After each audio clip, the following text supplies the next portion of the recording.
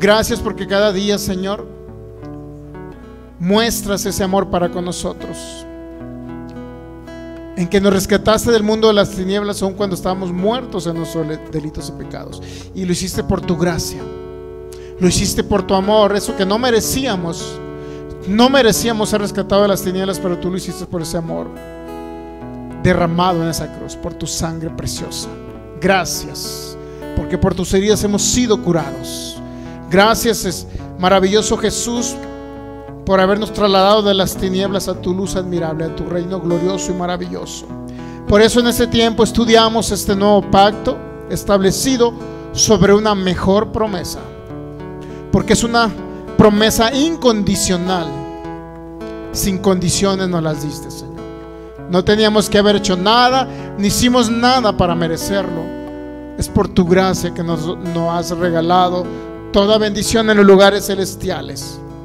Y ahora la traemos a manifestación a través de la fe que has depositado en nosotros y ejercitarla a través del conocimiento pleno de la revelación de tu palabra, de tu bondad, del nuevo pacto.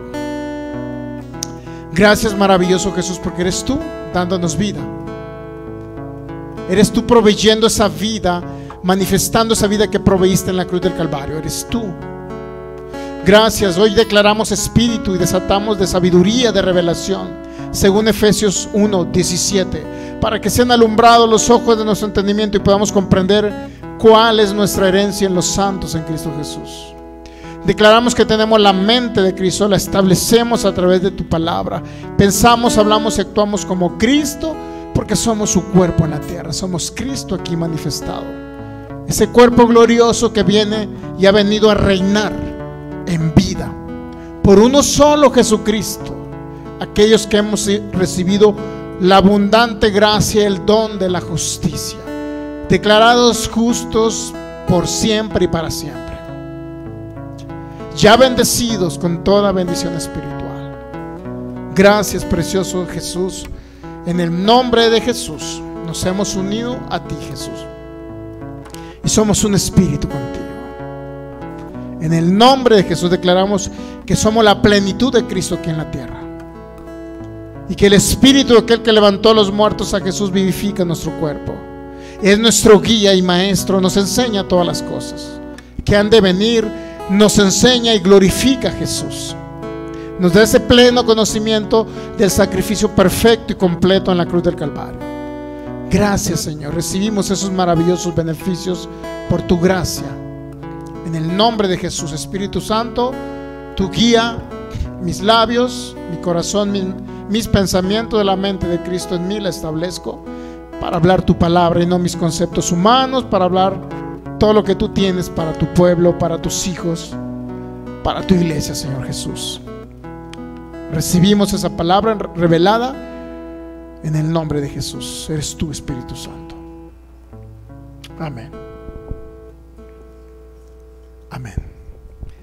Ok, pues vamos a dar la más cordial bienvenida a nuestros amigos que nos ven a través de estos medios. Cristo les ama, a nosotros también. Gracia y paz les sean multiplicadas de Dios nuestro Padre y del Señor Jesucristo cada uno de ustedes.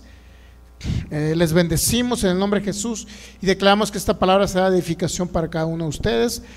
Cada persona que nos ve los distintos países, Sudamérica, Centroamérica, Estados Unidos, Norteamérica, de cualquier país de habla hispana, le damos la más cordial bienvenida en cualquier este, continente, en cualquier ciudad, en cualquier lugar y vamos a agregar en cualquier planeta.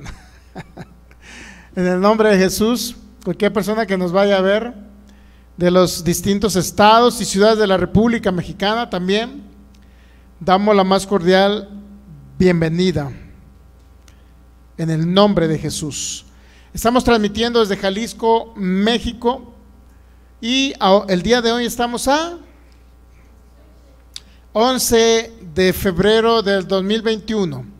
Y cada persona que nos va a ver a través de estos medios de manera directa, de nuestra página eh, que es de la congregación Fe y Poder Guadalajara, así como de, de Palabra Fe y Gracia o Ministerios Palabra Fe y Gracia, también nos puede ver a través del medio de Facebook.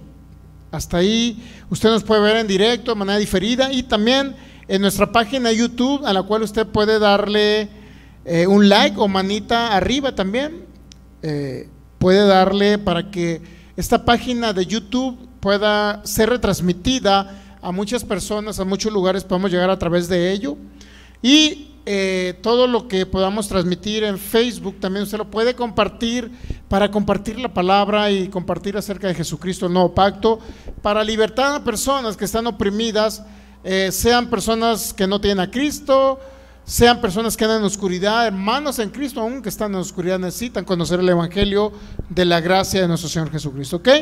Muy bien, pues compártalo, dele like, compártalo, para que otras personas también puedan ser libres de la religiosidad, del legalismo en que están sumergidos y por lo cual están muriendo, están muriendo en este tiempo de casi dos años ya que llevamos, de este tiempo complicado para el mundo, Desafortunadamente podemos decir que también ha sido complicado para la Iglesia de Cristo, pero no para los que hemos entendido el nuevo pacto. Al contrario, hemos recibido más manifestación de la gracia del Señor. ¿Ok?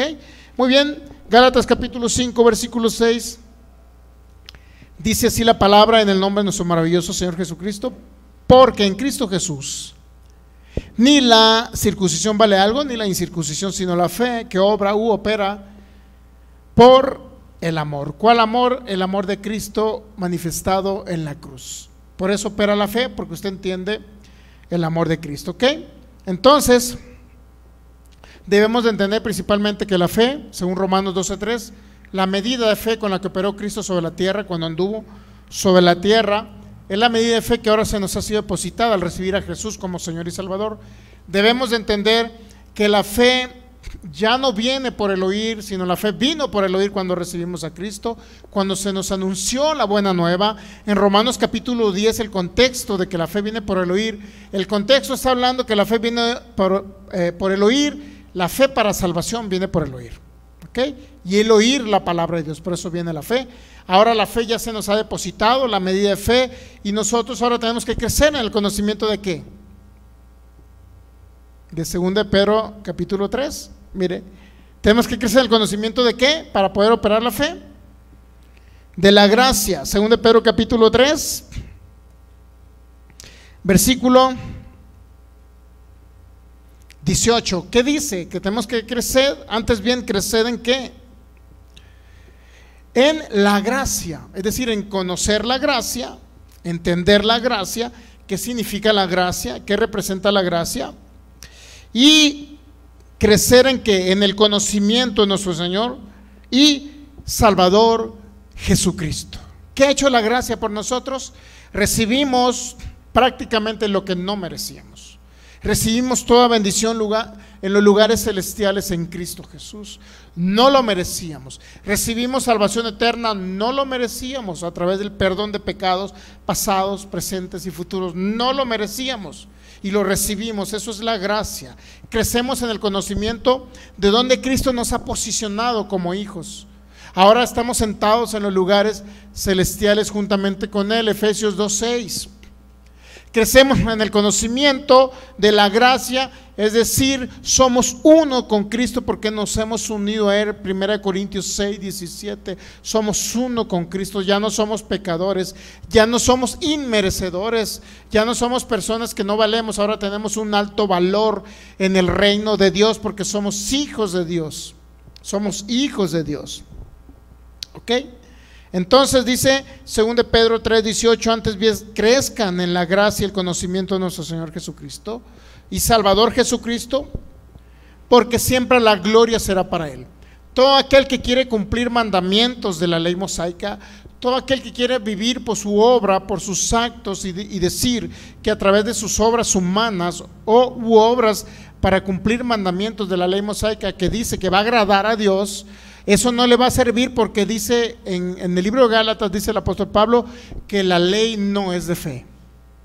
Gálatas capítulo 3, creo que es 10 o 11 por ahí. Dice, la ley no es de fe. Es decir, en otras palabras, la ley no tiene nada que ver con la fe. Y cuando hablamos de operar la fe que se nos fue depositada, estamos hablando principalmente, y la única manera en que la podemos operar es creciendo en el conocimiento de la gracia que se nos fue dado sin merecerlo. Eso es gracia. ¿A dónde se nos fue posicionado? ¿Dónde fuimos posicionados sin merecerlo? que se nos regaló sin merecerlo. Eso es gracia. Y va unido al conocimiento de nuestro Señor y Salvador Jesucristo. Sacrificio perfecto, obra concluida y terminada Jesús. Eso es gracia. ¿Crezcamos en qué? En la gracia. En otras palabras, menos ley, más gracia. En otras palabras, menos ley está incorrecto. Nada de ley. Y más gracia, más nuevo pacto, más obra terminada, más conocimiento de Jesús, menos legalismo. Cuando usted mezcla, cuando se mezcla el nuevo pacto con el antiguo pacto de la ley de Moisés, mi hermano, las cosas están funcionando al 50. Y en muchos casos no funcionan en nada. No podemos operar una fe que se nos fue depositada si no entendemos el nuevo pacto, si no entendemos el evangelio de la gracia, el evangelio del reino, el evangelio de la paz de nuestro Señor Jesucristo. ¿Ok? Entonces tenemos que crecer. Y dice Gálatas 5:6 que la fe, la única manera en que puede operar la fe es a través del amor, entendiendo y creciendo en el amor de Cristo en la cruz, de su sacrificio perfecto. Si crecemos y entendemos el amor de Cristo en la cruz, vamos a saber operar esa fe, porque nuestra fe debe estar cimentada en ello, en el amor de Dios. Y eso es lo que nos guía a un cambio de mentalidad, ¿sabe usted? Si vamos a Romanos 2, mire, nos guía a un cambio de mentalidad. ¿Entendemos ahí?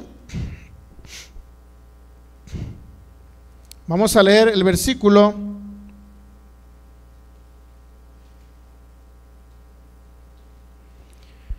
Romanos capítulo 2, versículo 4.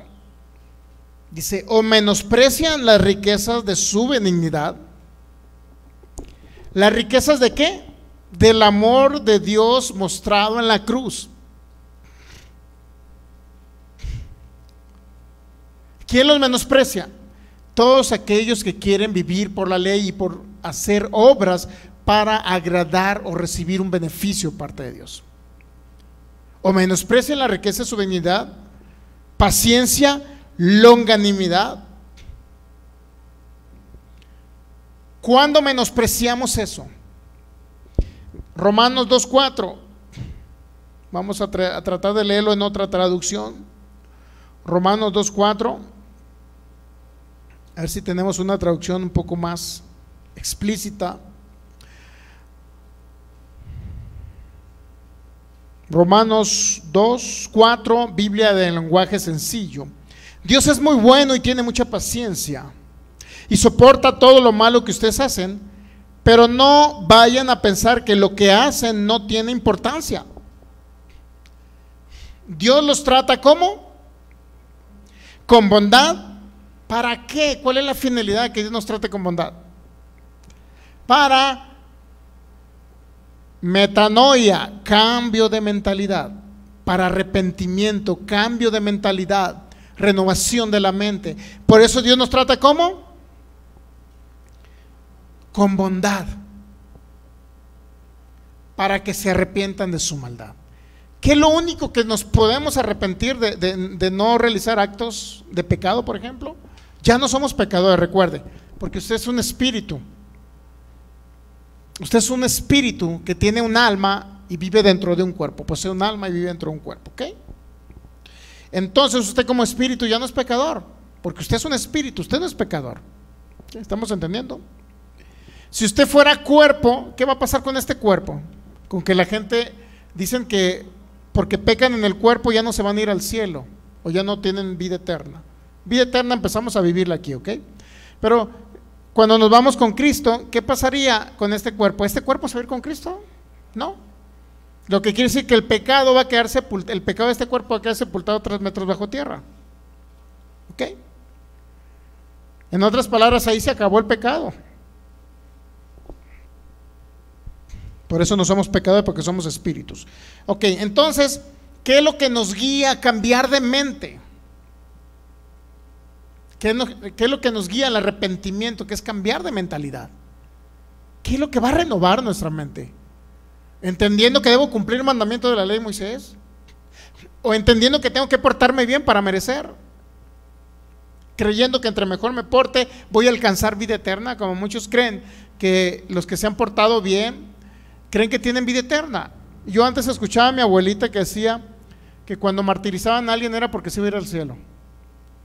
Es decir, hicieron una injusticia con un nombre, eh, cierto personaje por allá en la época de los zapatistas, a principios de 1900, 1912, 10, 15. En esa época un hombre, por quitarle a su mujer, uno de los zapatistas hizo con él lo que quiso. Lo torturó, eh, lo traspasó con clavos, le cortó la lengua, le arrancó el pelo de aquí de arriba, pues todo solo por quitarle a la mujer. Y me dijo mi abuela, ese fue un mártir. Está en el cielo porque fue un mártir. Pero ¿cuántos saben que ese sacrificio no lo llevó al cielo? Los sacrificios humanos, las obras humanas que nosotros hagamos no tienen ningún mérito para irnos al cielo. Lo único que nos lleva al paraíso con Cristo Jesús y a tener esa vida eterna con Él eh, por una eternidad, vivir con Él, solamente es el sacrificio, entendiendo el sacrificio perfecto y maravilloso de Jesús, es decir, Jesucristo, que sea nuestra vida y nuestra esencia.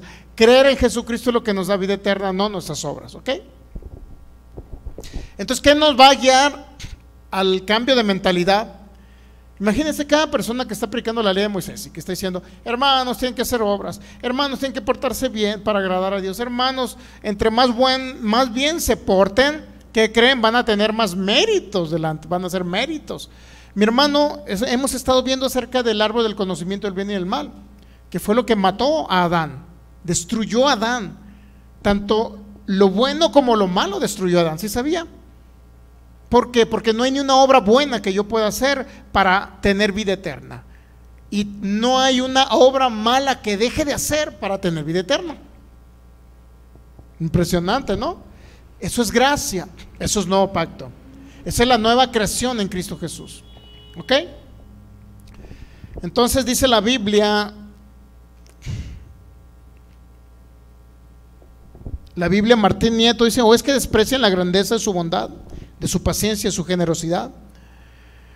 Desprecia la grandeza, su bondad, de su paciencia y su generosidad y no te das cuenta de que la bondad de Dios te empuja. ¿A qué? Al cambio de mentalidad. En otras palabras, si no renuevo mi mente a través de la palabra de Dios, nunca voy a ver manifestada lo que Cristo pagó por mí y por usted en la cruz. Nunca lo voy a ver manifiesto. ¿Por qué? Porque si renovamos la mentalidad respecto al conocimiento que tenemos del nuevo pacto, vamos a comenzar a hablar la obra terminada de Jesús.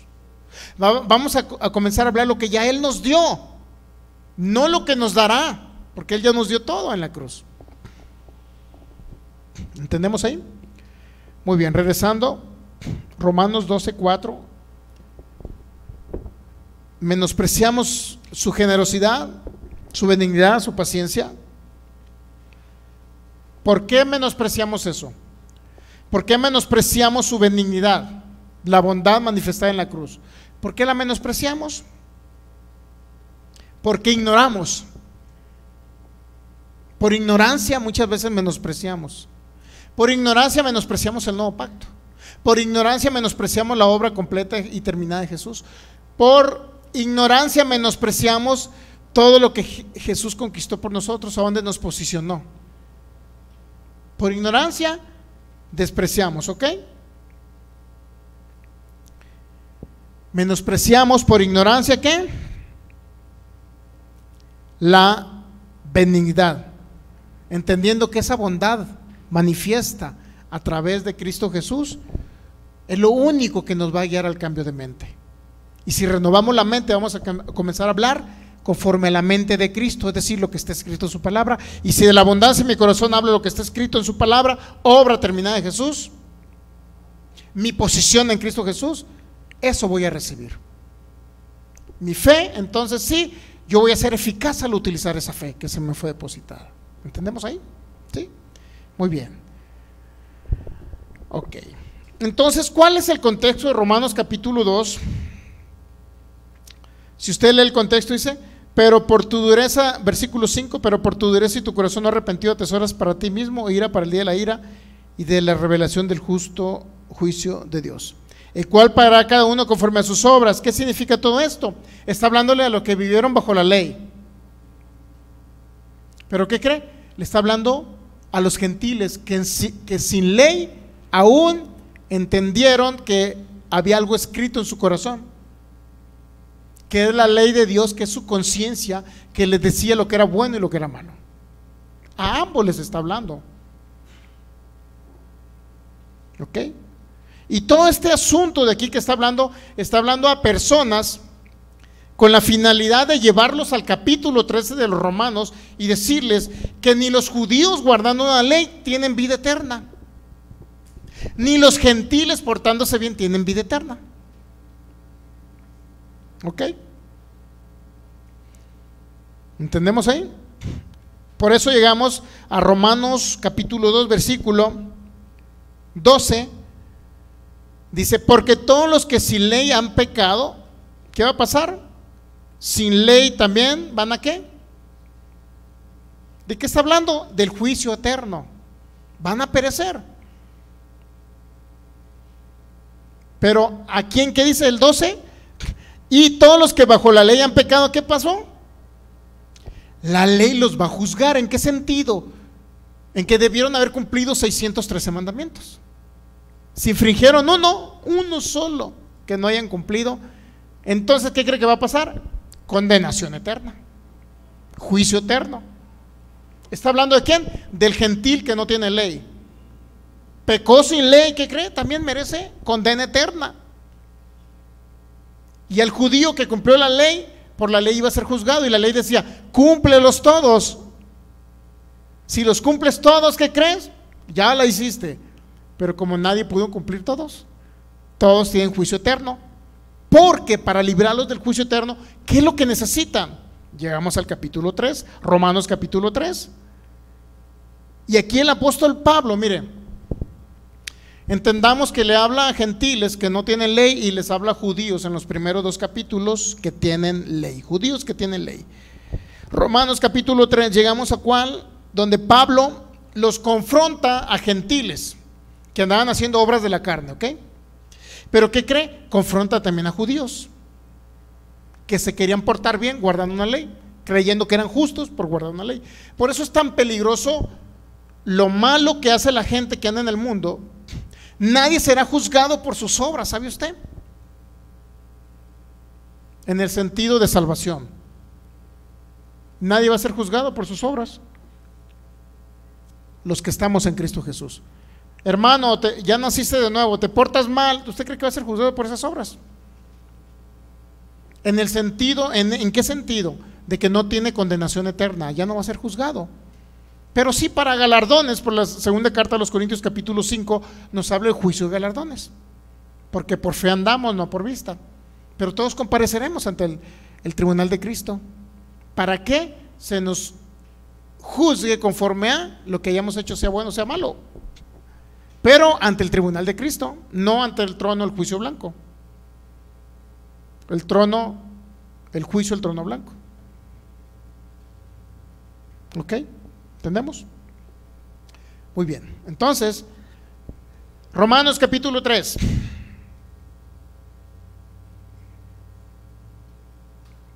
Versículo 20. Ya que por las obras de la ley ningún ser humano será justificado delante de él, porque por medio de la ley es el conocimiento de qué? Pero ahora, dice Pablo, Romanos 3:21, aparte de la ley se ha manifestado la justicia, testificada por la ley y los profetas, la justicia de Dios por medio de la fe. ¿En quién? En Jesucristo. Para todos los que creen en Él, porque no hay diferencia. ¿Qué significa que no hay diferencia? Por cuanto todos pecaron, están destituidos de la gloria de Dios. ¿Quiénes pecaron todos? ¿Quiénes? Los gentiles que vivían sin ley y los judíos que vivían bajo la ley. Para Dios todos eran pecadores sin Cristo en sus vidas.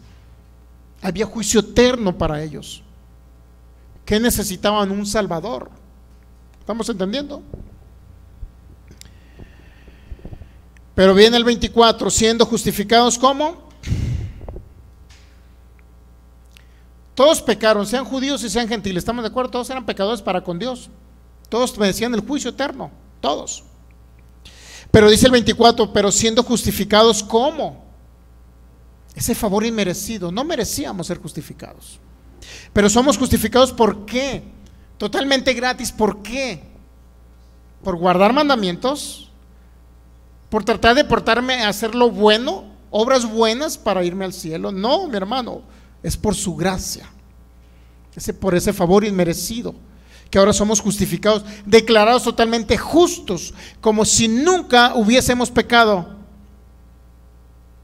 ¿Ok? A través de esa maravillosa gracia que es Cristo Jesús, pagándolo todo en la cruz. Entonces fuimos justificados gratuitamente, ¿por qué? por su gracia y fuimos redimidos, redención, pagado el precio de la esclavitud. Fuimos mediante la redención que es en quién. ¿Quién fue el que nos libró de la esclavitud? ¿Quién fue que pagó el precio? Mediante Cristo Jesús. No mediante guardar obras de la ley, no mediante portarnos bien, no mediante ninguna obra meritoria, sino mediante la redención que es en Cristo Jesús. ¿Ok? ¿Entendemos? ¿A quién les habló? A gentiles, ¿estamos de acuerdo? Y a judíos. El problema, cuando no analizamos la Biblia correctamente, empezamos a condenar. Y más aún condenando a los hijos de Dios. Empezamos a condenar y empezamos a utilizar mal la palabra de Dios si no la, la analizamos en su contexto. Yo he escuchado a personas, literal, mi hermano, quieren echarle leña al mundo que está sin Cristo y se van a Romanos capítulo 1, clásico. Dicen, bueno, es que mm, el mundo, Dios los entrega una mente reprobada. Y luego, y lo dices, ¿cómo que Dios los... Sí, sí, Dios los entrega. Es decir, hagan lo que quieran. Algún día yo los juzgaré. ¿Creen que Romanos capítulo 1 se refiere a eso? Mire, vamos a Romanos capítulo 1, ¿ok? Yo he visto personas que mencionan ese texto bíblico para hablar despectivamente del mundo, de personas que están en el mundo sin Cristo. Mire, Romanos capítulo 1, ¿le gustaría ver?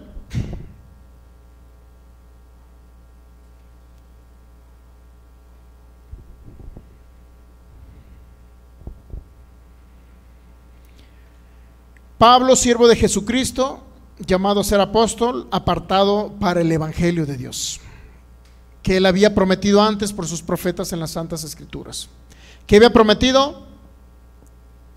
¿Qué había prometido Dios? El Evangelio de Dios. Lo que quiere decir que el antiguo pacto, profetas hablaron del Evangelio, pero no predicaron el Evangelio, el nuevo pacto, porque aún no llegaba. ¿Entendemos? hablaron de los símbolos, de los tipos de Cristo, pero no era el Evangelio del nuevo pacto. Les hablaron del futuro que venía en Cristo Jesús. ¿okay? Que era que Él había prometido antes por sus profetas. Sí prometió un nuevo pacto. Prometió eh, las buenas nuevas en Cristo Jesús. Prometió que nuestros pecados iban a ser perdonados. Prometió la nueva eh, creación ser recreados en Cristo Jesús, renacidos en Cristo Jesús. Dice versículo 3 acerca de su Hijo nuestro Señor Jesucristo, que era del linaje de David según la carne, que fue declarado Hijo de Dios con poder según el Espíritu Santidad por la resurrección de entre los muertos, y por quien recibimos qué? ¿Qué recibimos a través de Cristo Jesús? ¿Qué recibimos a través de Cristo Jesús? Hermanos, tienen que volver a cumplir mandamientos de la ley.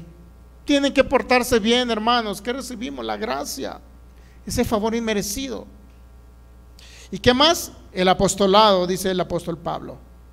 La gracia del apostolado para obediencia a la fe en todas las naciones por amor de su nombre, entre, entre las cuales estáis también vosotros llamados a ser de Jesucristo. Entre las cuales estáis también vosotros llamados a ser de quién? Hay un llamamiento a ser de Jesucristo, pero si usted ya es de Jesucristo, ¿Cómo que están llamados? La predicación del Evangelio en las iglesias de Roma, pero no necesariamente era para todos los nacidos de nuevo, porque dice que íbamos a ser qué? Llamados a ser de quién? Llamados a ser de Jesucristo. ¿Ya éramos llamados o íbamos a ser llamados? ¿Qué dice ahí? Está hablando de un futuro. ¿Estamos de acuerdo? Lo que quiere decir que le hablaba a personas que asistían a una congregación, por decirlo así, de la iglesia primitiva de Roma, pero muchos de ellos no nacían de nuevo.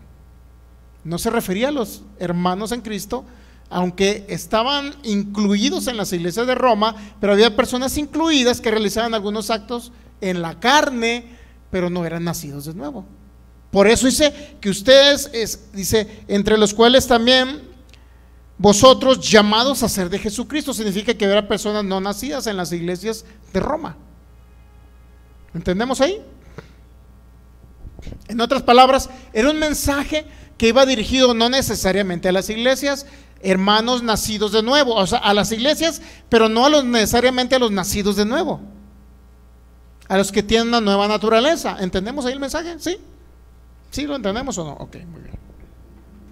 ¿Cuál era la costumbre de los romanos?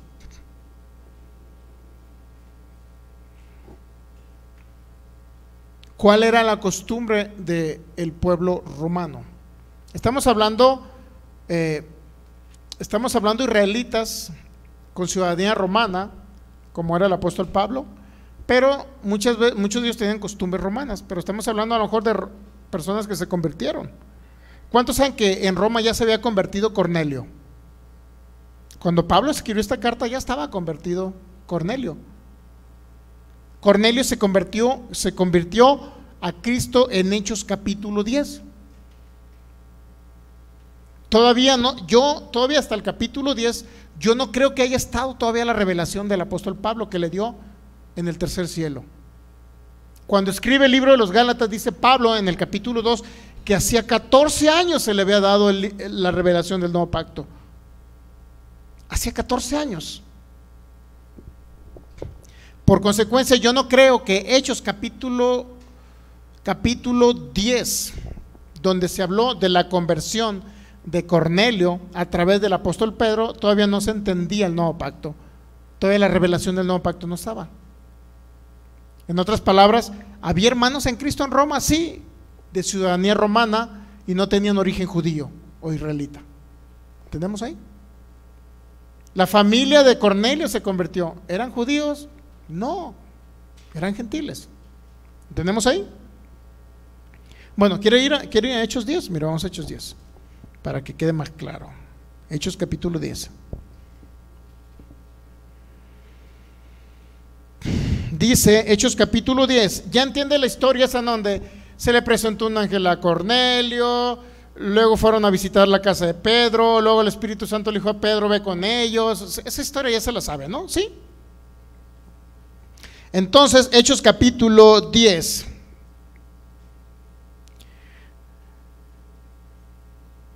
Dice el versículo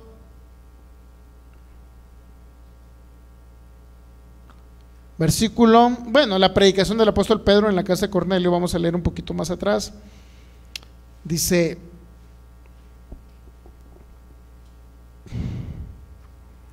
versículo 26, Hechos 10, 26, mas Pedro se levantó diciendo, levántate, pues yo mismo también soy hombre. ¿Cuál era la historia? Bueno, el 25 dice, cuando Pedro entró, salió Cornelio a recibirle y postrándose a sus pies le adoró. Así vamos bien, ¿verdad? Pedro ya en la casa de Cornelio, ¿sí? Mas Pedro le levantó diciendo, levántate, pues yo mismo también soy hombre. Y hablando con él entró y halló a muchos que se habían reunido. ¿Cuántos había reunido? En la casa de Cornelio, muchos que eran romanos, ciudadanos romanos. Dentro de ellos había desde los soldados, etcétera, ¿no? Su familia.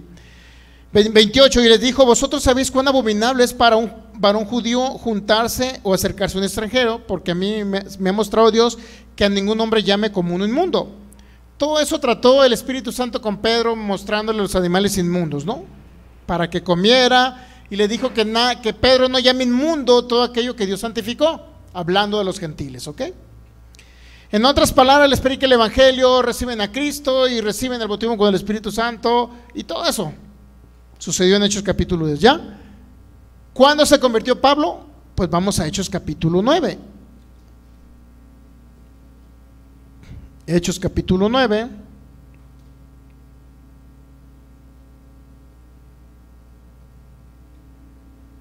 Versículo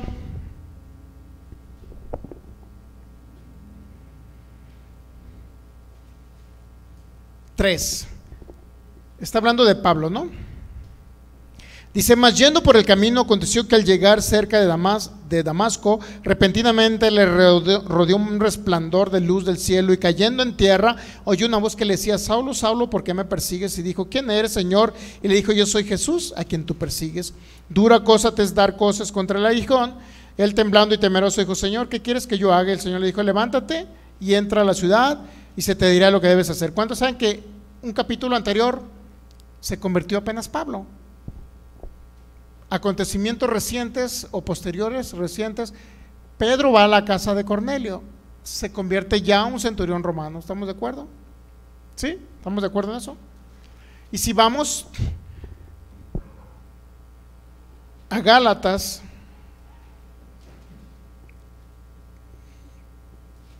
capítulo 2, versículo 1,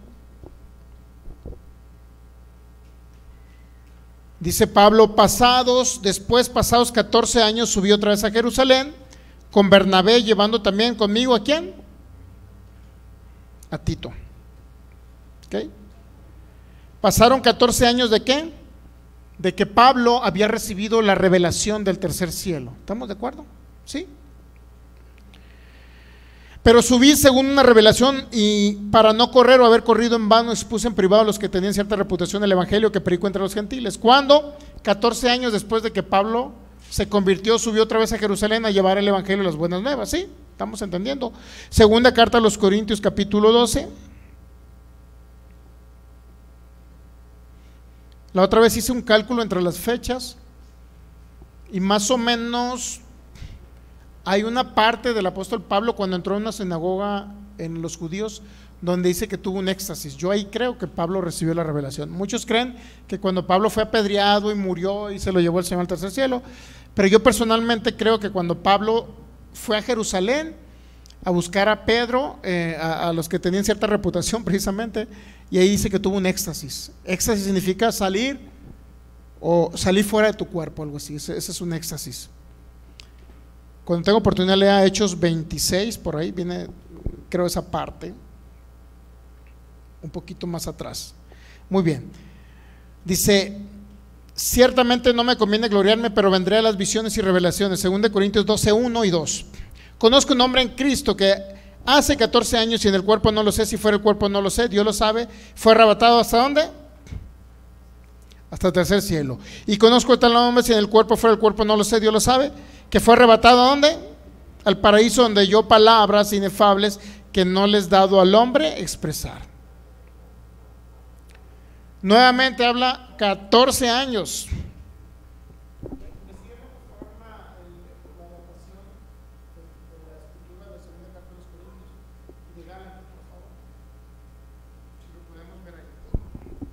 Entonces, aproximadamente todavía Pablo no expresaba, suponiendo que Pablo recibió esa revelación cuando cayó en tierra, suponiendo que lo recibió cuando cayó en tierra, ¿ok? Eran los primeros días de la persecución de la iglesia primitiva a través de, Saulo de Tarso, ¿ok? Suponiendo que haya recibido ahí la revelación, pero en Hechos capítulo 10, cuando se convirtió con Cornelio, era imposible que hubieran transcurrido 14 años. Era imposible que hubieran transcurrido 14 años, era imposible, ¿ok? Entonces Pablo, 14 años después de que se convirtió, perdón, después de que tuvo esa, esa maravillosa éxtasis donde salió de su cuerpo y fue trasladado al tercer cielo, 14 años después empezó a hablar acerca de la revelación de Jesucristo. ¿A quiénes? ¿A quiénes dice? A los que tenían cierta reputación. ¿A quiénes eran los que creen que tenían cierta reputación en aquella época? Pedro, Jacobo y Juan. los que tienen cierta reputación. Él subió a darle la revelación. ¿Se me entiende? Para que a través de ellos se retransmitiera a todos los demás. Ahora, lo que yo quiero darle a entender en otras palabras con esto es que en Hechos capítulo 10 era imposible que ya hubieran pasado 14 años para que Pablo expresara, perdón, Pedro expresara el evangelio de la gracia del nuevo pacto. Uno, y ya había convertidos qué? Romanos gentiles. Que era uno de ellos quién? Cornelio, su familia, los que estaban con él. ¿Vamos bien? Ok. Todo eso es para llegar a decirles esto.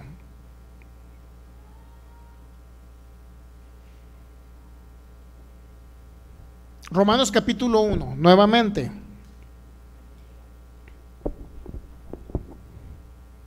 Versículo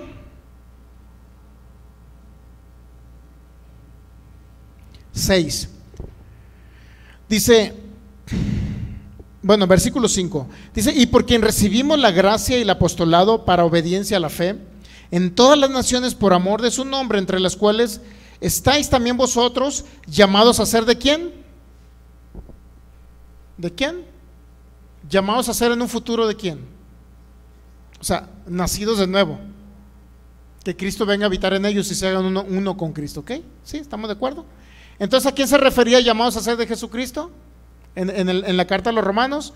Se refería a personas que a lo mejor estaban ya queriéndose congregar dentro, en la iglesia primitiva porque se empezaron a reunir en casas, ¿no?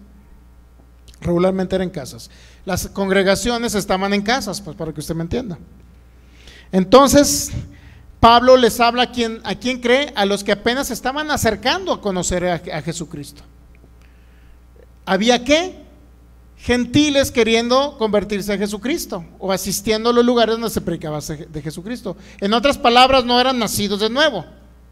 No se refería a hermanos en Cristo necesariamente. ¿Estamos entendiendo? Dice, versículo 7. A todos los que estás en Roma, amados de Dios, llamados a ser santos. ¿Llamados a ser qué? O sea, no eran santos. Cuando en el libro de los Hebreos dice que ya somos santos. Que hemos sido santificados, ¿por qué? por su sangre preciosa. Entonces aquí iban a ser llamados a ser qué? Santos en un futuro. ¿Entendemos? O sea, no eran santos, no eran nacidos de nuevo. Quiero darle el contexto de Romanos capítulo 1. Porque la gente dice que está hablando de cristianos aquí, de hijos de Dios, no está hablando a ellos. Se está diciendo a la iglesia de Roma, pero a personas que todavía no se convertían. ¿Entendemos? ¿Llamados a ser qué? Significa que no eran santos, no eran nacidos de nuevo, ¿ok? Lo dice, gracia y paz de Dios nuestro Padre y de quién? De Señor Jesucristo. Y luego ya sigue platicando.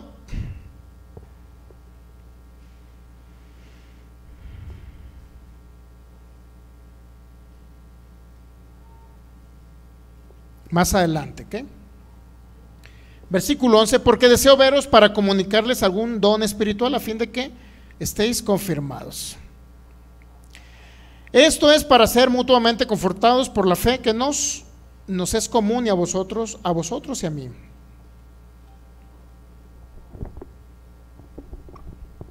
Más adelante.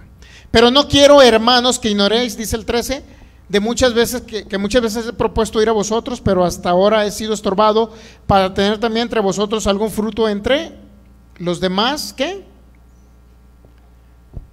Ahí podemos ver que en la en la iglesia de Roma, ¿qué cree que había en, las congregaciones de Roma? Hermanos, y Otros gentiles. Que eran, ¿cómo se dice? Eran, ¿cómo se dice la palabra? Eran, les agradaba, pues, o ¿cómo se dicen? Eran, ¿cómo se dice? Simpatizaban con el Evangelio, para que usted me entienda. Otra vez, Romanos 1.13. Pero no quiero, hermanos, que ignoréis que muchas veces me he propuesto ir a quién? A vosotros, ¿sí? ¿A quién está hablando? A los nacidos de nuevo de una congregación de Roma, ¿ya? Pero hasta ahora he sido estorbado para tener también entre vosotros algún fruto. ¿Algún fruto qué? Como entre los demás qué? Los demás gentiles, ¿cuáles? Los que estaban congregados junto con los hermanos. ¿Captamos ahí? Dice, a griegos y a no griegos, a sabios y a no sabios soy deudor Así que en cuanto a mí, pronto estoy por anunciarles el Evangelio, también a vosotros que estáis en Roma. Y empieza a hablar porque no me avergüenzo el Evangelio. Ahora viene. Ya viene y les habla a los que están congregados con los hermanos, es decir, los gentiles que aún no nacían de nuevo, les empieza a hablar estas palabras. Romanos 1.18, porque la ira de Dios se revela desde el cielo contra toda impiedad e injusticia de los hombres que detienen con injusticia, ¿qué? La verdad. Porque lo que Dios, lo que de Dios se conoce les manifiesto, pues Dios se lo manifestó. Porque las cosas invisibles de Él, su eterno poder, su deidad, se hacen claramente visibles desde la creación del mundo, siendo entendidas por medio de las cosas hechas de modo que no tienen excusa. ¿A quién cree que se refería? ¿A los hermanos? ¿O a los gentiles que eran simpatizantes, que se congregaban con los hermanos y no nacían de nuevo? ¿Entendemos? No tienen excusas. Su deidad se hacen claramente visibles desde la creación del mundo, siendo entendidas por medio de las cosas hechas de modo que no tienen excusa. ¿A quién se refiere? No a los hermanos, sino a los gentiles que eran simpatizantes y que se congregaban con los hermanos. ¿Captamos? Y dice el 21, el 21 lo utilizan para condenar a la iglesia de Cristo, para condenarlo usted nacido de nuevo.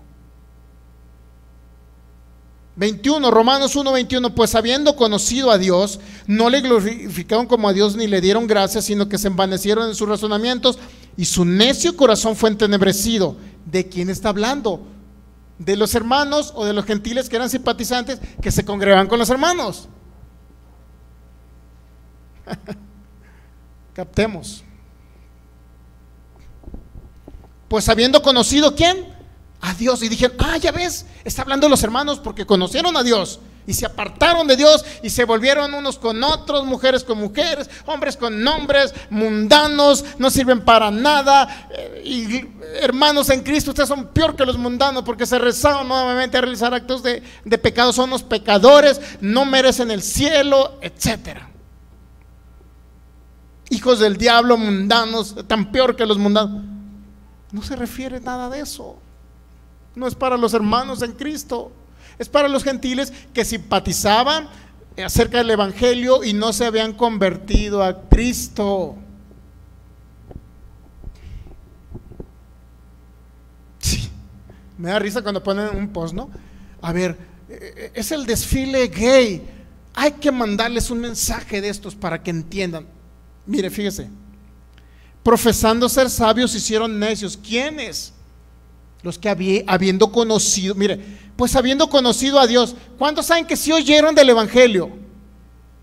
Pero no nacían de nuevo, eran gentiles, simpatizantes que se reunían junto con los hermanos de la iglesia de Roma. ¿Sí entendemos esa parte? ¿Sí la entendemos, verdad? Pues habiendo conocido a Dios, no le glorificaron como a Dios. Y, creen que el contexto habla de los hermanos en Cristo. Dice, ah, ya ves, se refiere a hermanos en Cristo, porque conocían a Dios conocieron de Dios porque acompañaban a los hermanos, eran gentiles que acompañaban a los hermanos, ciudadanos romanos que acompañaban a los hermanos, simpatizantes de la iglesia primitiva, acerca del Evangelio, pero no nacían de nuevo. ¿Está usted de acuerdo que está hablando de dos tipos de público? Porque Pablo nos los dijo, hermanos, y a los gentiles también. ¿Estamos de acuerdo? Regresamos otra vez para darle a entender. Romanos capítulo 1, versículo 13, para entender que había dos tipos de públicos a los cuales se dirigía el capítulo 1. Pero no Romanos 1.13, porque no quiero hermanos que que muchas veces me he propuesto ir a vosotros, pero ahora me he sido estorbado, para tener también entre vosotros algún fruto. como Entre los demás gentiles. ¿Cuáles demás gentiles? ¿A qué demás gentiles se refería? ¿Cuál fruto de cuáles gentiles? No se refería a los que estaban en el mundo, los demás gentiles que estaban reunidos con los hermanos. En otras palabras, no nacidos de nuevo. Estamos captando el público que, al cual se estaba dirigiendo Pablo. Dos tipos de público. Romanos 1.17. Perdón, 1.18. 19 y 20, 20. Porque las cosas invisibles de Él, su eterno poder y deidad, se hacen claramente visibles desde la creación del mundo, siendo entendidas por medio de las cosas hechas de modo que no tienen excusa. ¿A quién se refiere que no tienen excusa? Aquellos que oyeron habiendo conocido a Dios. Es decir, oyeron de Dios, no nacieron de nuevo, pero oyeron el Evangelio. ¿Ok? 21. Pues habiendo conocido a Dios. ¿Cuántos saben que muchos conocen a Dios? Pero no ha nacido de nuevo. ¿A cuánto le ha predicado usted que no ha nacido de nuevo? ¿Conocen a Dios? Sí, no nacieron de nuevo.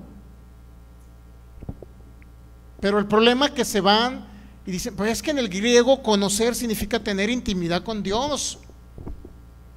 ¿Será cierto que la palabra conocer siempre significa eso?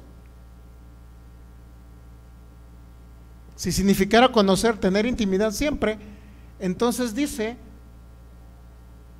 que, Jacob, perdón, dice que Moisés conoció a su suegro. Eso dice la Biblia. Yetro, ¿no? Dice que conoció a su suegro Yetro. Eso dice la Biblia. Por eso la palabra conocer significará lo mismo.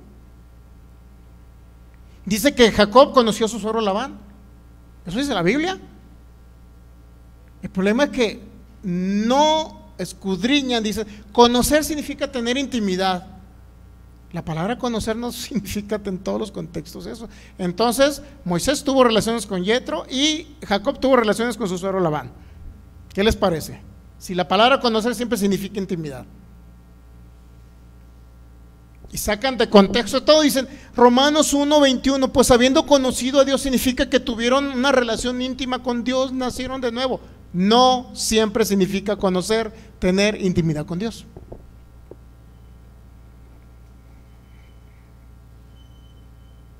Da la casualidad.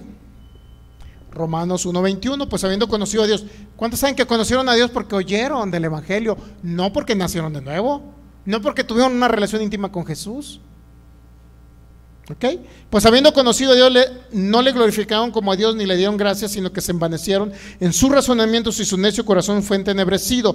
Profesando ser sabios, hicieron necios y cambiaron la gloria de Dios incorruptible en semejanza de hombre, de hombre corruptible, de aves, de cuadrúpedos, de reptiles por lo cual también Dios los entregó a la inmundicia en las concupiscencias de sus corazones, de modo que deshonraron sus propios cuerpos, que ya que cambiaron la verdad de Dios por la mentira, honrando y dando culto a las criaturas antes que al Creador, el cual es bendito por los siglos. Por eso Dios, dice, los entregó a pasiones vergonzosas, pues aún sus mujeres cambiaron el uso natural por el que es contra naturaleza. De igual modo también los hombres, dejando el uso natural de la mujer, se encendieron en su lascivia unos con otros, cometiendo hechos vergonzosos, hombres con hombres, y recibiendo en sí mismo la retribución misma a su extravío. Ya ven, hermanos, la iglesia primitiva se alejó del Evangelio y Dios los entregó a su inmundicia.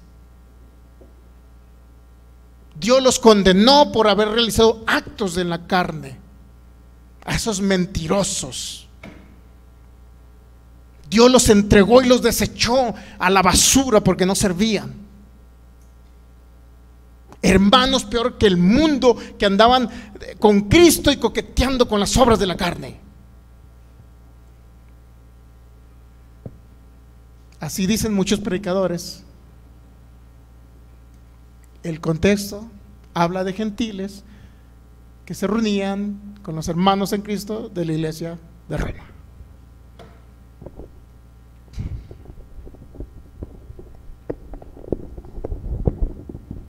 Porque lo dijo un predicador de frente, otro lo repite y lo pone ahí. Dice que Dios lo entregó porque se hicieron obras de no sé qué, de lascivia, hombres con hombres, mujeres con mujeres. Él pone en el post y nunca pone en el contexto a qué se refiere. Y dice, ah, se refiere hermanos porque dice que habiendo conocido a Dios.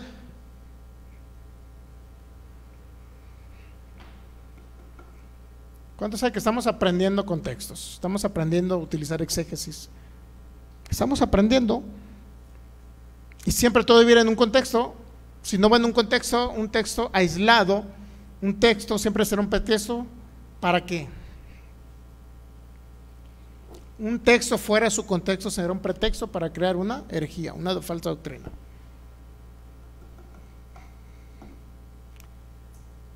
Romanos 1.26, por eso Dios los entregó a pasiones vergonzosas. ¿A qué se refería? A los gentiles que eran simpatizantes y se congregaban con los hermanos, pero nunca nacieron de nuevo y continuaron con sus obras de la carne.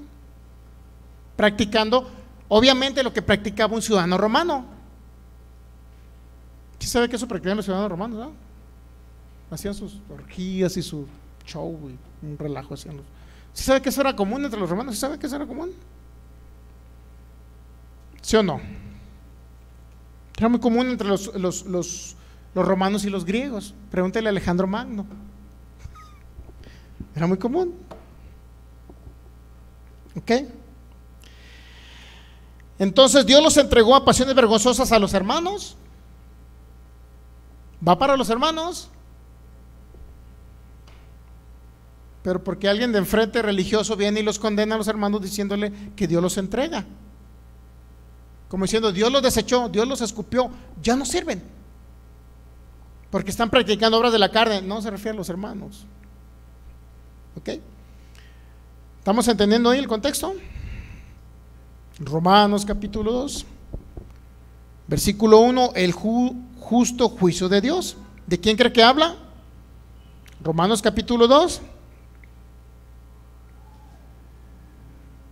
versículo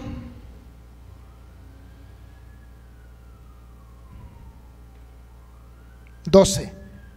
Porque, porque, todos los que la ley, porque todos los que sin ley han pecado, sin ley también, ¿qué va a pasar? Perecerán. Y todos los que bajo la ley han pecado, ¿qué significa? ¿Qué significa? Por la ley serán juzgados. Ya estamos hablando de dos públicos, de un tercer tipo de público. Hermanos en Cristo israelitas que querían volver a circuncidarse, guardar la ley de Moisés, es decir, judaizantes. Está hablando de gentiles que se congregaban con los hermanos de la iglesia de Roma, que eran simpatizantes de la iglesia de Roma, oían acerca de Dios, conocían de Dios porque escuchaban la palabra, pero no nacieron de nuevo y practicaban las obras de la carne. Pero a todos ellos, judíos, eh, judíos con, con, este, judíos con, ay Dios mío, judíos con, ¿cómo se llama? con nacionalidad romana, como Pablo, personas gentiles romanos que no conocían, que, o sea, que estaban fuera del judaísmo, gentiles romanos que eran simpatizantes de la iglesia de Cristo en Roma, que no tenían ley, porque dice Pablo, mire, porque todos los que sin la ley han pecado, sin la ley también perecerán, y todos los que bajo la ley han pecado, por la ley serán juzgados. ambos tienen derecho al juicio eterno tienen una condena eterna. Pero llegamos al capítulo 3, llegamos al capítulo 3 y dice que todos tienen oportunidad. Tanto los gentiles que se reunían con los hermanos en la iglesia primitiva, como los judíos o los judaizantes que practicaban la ley de Moisés y querían combinar los pactos. Todos tenían oportunidad. Romanos capítulo 3 les dice a ambos en el versículo 10, porque escrito está, no hay justo ni un uno. ¿Cuántos saben que sin Cristo nadie es justo? Tanto el que se quiere justificar por hacer buenas obras es injusto. Es decir, merece castigo eterno. Como aquel gentil que practica las obras de la carne es injusto y se va al castigo eterno. ¿Cuántos saben? Y dice Pablo en el 11, no hay quien entienda, no hay quien busque a Dios. Todos se desviaron, unas hicieron inútiles, no hay quien haga lo bueno, no hay ni siquiera uno. Ya llega más adelante al versículo Romanos 3.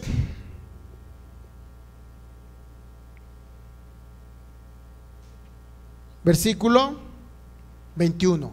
Pero ahora aparte de la ley se ha manifestado la justicia de Dios testificada por la ley y los profetas, la justicia de Dios por medio de qué? De la fe en Jesucristo.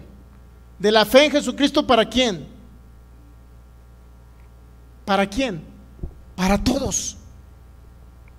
¿Quiénes son esos todos? los que creen en Él. Les dio una oportunidad a esos gentiles que se congregaban con la iglesia primitiva de Roma, les dio oportunidad que ellos dicen que Dios los entregó una mente, los entregó a una mente reprobada. A esos que les dijo, los entregó una mente reprobada porque hicieron lo malo, porque empezaron a hacer actos en la carne, sexuales, de lo que sea. A esos que les dijo que Dios los entregó una mente renovada, ahora le está dando la oportunidad en Romanos capítulo 3. Mire. Pero ahora, aparte de la ley, se ha manifestado la justicia de Dios testificada por la ley de los profetas, la justicia de Dios por medio de qué? De la fe en Jesucristo. ¿Para quién? Para todos los que en él creen. Tanto gentiles como judíos. Tanto gentiles como judaizantes. ¿Cuántos saben que un, judaizante es, el Pablo le llamó en Gálatas 2 falso hermano, que se introducido en la iglesia de Cristo, pero ¿qué cree que pasa con un judaizante? Muchos de ellos no nacieron de nuevo. No creían que Jesús era el Hijo de Dios. Estaban inmiscuidos en la iglesia de Cristo, les llamó falsos hermanos porque ni siquiera habían nacido de nuevo, pero conocieron acerca de Dios y nunca nacieron de nuevo como aquellos judaizantes que sí nacieron de nuevo y que querían practicar y volver a practicar la ley de Moisés. ¿Captamos ahí? Muy bien. Entonces, llega el 23 y dice, por cuanto todos pecaron están destituidos de la gloria de Dios. ¿Quiénes todos pecaron? Tanto gentiles como judaizantes o judíos. ¿Ok? Y luego dice el 24, tanto aquellos que les que dice que Dios los entregó una mente reprobada, dice el 24, que ahora son justificados gratuitamente por su gracia mediante la redención que es en Cristo Jesús. Es decir, los entregó una mente reprobada, pero les dio una solución en el capítulo 3. O sea, en el capítulo 1 los entrega una mente reprobada. ¿Estamos entendiendo? Sí. ¿Para, qué? Para que las personas hagan lo que quieran. ¿Estamos entendiendo esa parte? ¿A quiénes? A los gentiles que se congregan con los hermanos de la iglesia primitiva de Roma. ¿Estamos entendiendo hasta ahí, sí o no? Pero ahora les da la oportunidad que pueden ser justificados gratuitamente. ¿Por qué? Mediante la redención que es en Cristo Jesús. A ellos les está dando en el capítulo 3 una oportunidad, Dios. ¿Sí, ¿Sí captamos eso? Versículo 25, Romanos 3:25, en quien Dios puso en propiciación por medio de la fe en su sangre, para manifestar su justicia a causa de haber pasado por alto en su paciencia. ¿Qué pasó? Los pecados pasados con la mira manifestada en ese tiempo su justicia, a fin de que Él sea el justo y el que justifica al que es de la fe de Jesús. Los declara justos, tanto gentiles, que dice que Dios los entregó una mente reprobada. Sí, los entregó una mente reprobada para que hagan lo que quieran. Pero en el capítulo 3 Dios le dice, aunque Dios los haya entregado una mente reprobada, tienen solución, tienen redención. Sus pecados fueron pagados por la sangre de Jesús. ¿Y ahora qué cree? Hay una solución, aunque Dios los entregó a la mente reprobada, pero hay una solución en Cristo Jesús. ¿Captamos ahí? Concluimos, pues, ¿dónde está la jactancia? ¿Queda excluida por cuál ley? ¿Por las de las obras? No, sino por la ley. Concluimos, pues, el 28 dice que el hombre es justificado por la fe sin las obras de la ley. Y dice el 29, ¿es Dios solamente Dios de los judíos? No, es también Dios de quién? de los gentiles. Ciertamente, ¿qué dice? También de quién? De los gentiles. Aquellos que dice que Dios los entregó una mente reprobada para que hicieran lo que quisieran, les dio una solución en el capítulo 3. En otras palabras, no debo agarrar el capítulo 1 de Romanos para decir que los hermanos en Cristo, eh, Dios los entrega una mente reprobada para que hagan lo que quieran. Porque no se refiere a los hermanos, sino a los gentiles que se congregan con los hermanos de la iglesia de Roma. Segundo, capítulo 2 les habla del juicio eterno, que tanto gentiles como judíos están condenados sin Cristo. La ley los va a juzgar. ¿Cumplieron 613? Le va a decir la ley a los judíos que vivieron bajo la ley. ¿Cumplieron 613? No. Ah, bueno, condena eterna. No merecen. Gentiles por sus obras de pecado van a ser, van a ser juzgados, sí, si no tienen a Cristo en su corazón. Judíos serán juzgados por la ley, sí, si no tienen a Cristo en su corazón. Pero ambos en el capítulo 3 Dios les da una solución. Judíos y gentiles ahora son justificados por la fe. Si vienen a Cristo Jesús, son justificados por la fe en su sangre. Por la fe en Cristo Jesús. Ambos, gentiles y judíos. ¿Por qué, ¿Por qué estamos hablando los primeros tres capítulos de los romanos? ¿Por qué los hablamos? porque he leído muchos posts de personas que quieren condenar, juzgar y tener oprimida a la iglesia de Cristo, diciéndoles que el capítulo 1 le está hablando a hermanos nacidos de nuevo. porque dice que conocieron a Dios. Pero conocer a Dios significa oír de Dios, pero no necesariamente tuvieron que haber nacido de nuevo. Segundo, estamos analizando el contexto de los primeros tres capítulos romanos para darle a entender que a los aquellos gentiles que realizaban obras reprobadas y que dice que Dios los entregó una mente reprobada para que hicieran lo que quisieran, hombres con hombres, mujeres con mujeres. En primer lugar, no se refiere a los hermanos en Cristo, se refiere a los gentiles. Segundo, Dios les da una solución en el capítulo 3, que ambos, judíos y gentiles, en el capítulo 2 dice que van, merecen el juicio eterno. Practicar ley o sin practicar ley también merecen el juicio eterno, pero la solución cuál es en el capítulo 3? Que ahora son salvos por la fe en Cristo Jesús. Son justificados, declarados totalmente justos y con la naturaleza divina, con Cristo en su corazón, eh, justificados de, sus pecados, totalmente perdonados, pasados, presentes y futuros, reinando con Cristo en vida, haciéndose uno con Cristo, sentado en lugares celestiales juntamente con Jesús siendo reyes y sacerdotes, nación santa, pueblo adquirido de Dios. ¿Ok? En otras palabras, ya no se refiere a la iglesia de Cristo. Romanos capítulo 1, gentiles. 2, judíos y gentiles. 3, hay una solución para ambos. Y la solución para personas que están en este mundo es Cristo Jesús. Que cada vez que usted oiga que dice que Dios entregó a alguien una mente reprobada para que hicieran lo que quisieran, como Dios, Dios ya no les importó a ellos. Los entregó, que hagan lo que quieran, y ahora que acabo los voy a juzgar y los voy a ejecutar allá, en aquel juicio que viene del trono blanco. Allá los voy a ejecutar. Y Dios los entrega la mente reprobada para que hagan lo que quieran. Mi hermano, sí, pero les da la solución en el capítulo 3. Todos merecen la oportunidad de ser salvos en Cristo Jesús. A nadie Dios los va a desechar ni los va a entregar una mente reprobada para no darles una solución. Y siempre que usted escuche Romanos capítulo 1 para referirse a hermanos en Cristo y que le digan que Dios los entrega una mente reprobada por andar haciendo actos de pecado, no se la crea. No habla de hermanos en Cristo no se refiere a la iglesia de Cristo, no se, refiere a aquella iglesia sin mancha y sin arruga, comprada por la preciosa sangre de Jesús. No se refiere a nosotros. ¿Ok? ¿Entendemos ahí? Este texto bíblico, Romanos capítulo 1, que Dios los entrega, que hagan lo que quieran, hombres con mujeres con mujeres. Mi hermano, lo utilizaron para juzgar, condenar a la iglesia de Cristo y decirle usted que usted no vale nada. Si realiza una obra de pecado, que usted no vale nada. Pero nunca se refiere Pablo a nosotros. Quitamos esa conciencia condena. Si la regamos, si fallamos, si pecamos, mi hermano, seguimos siendo justos. Y ese conocimiento que cree que va a traer una operación correcta de la fe que se nos fue depositada. Y aunque usted haya pecado, puede decir, soy la justicia de Dios en Cristo Jesús. Y aunque usted haya pecado, puede decir, soy sano por la idea de Jesús. Y aunque usted haya pecado, diga que es un rey y sacerdote.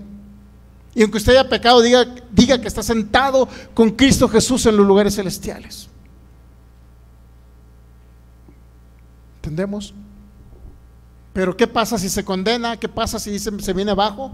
Cuando un hijo de Dios peca, dice que ya no sirve. Los religiosos fariseos dicen que ya no sirve. Mejor ni le sigo porque ya es tarde y me voy a, y me voy a molestar. contra los fariseos, fariseos religiosos. Padre, en el nombre de Jesús, te damos gracias por esta maravillosa noche, por tu palabra. Gracias por la vida, gracias por el nuevo pacto, gracias por Cristo Jesús, gracias porque todo fue pagado en la cruz del Calvario. Recibimos tu gracia, recibimos tu amor, reinamos en vida, recibimos la abundante gracia y el don de la justicia en el nombre de Jesús. Amén. Les bendecimos a cada uno de ustedes y declaramos en el nombre de Jesús la vida de Cristo en ustedes, declaramos que crece en conocimiento, gracia y a cada uno de ustedes, de Dios nuestro Padre y del Señor Jesucristo. Bendecidos con toda bendición espiritual. Gracias Jesús, gracias Señor. Gracias Jesús.